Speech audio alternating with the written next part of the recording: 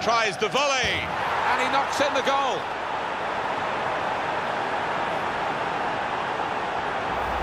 Oh, and I don't think I'll see a better goal than that for the next 10 years, never mind about this season.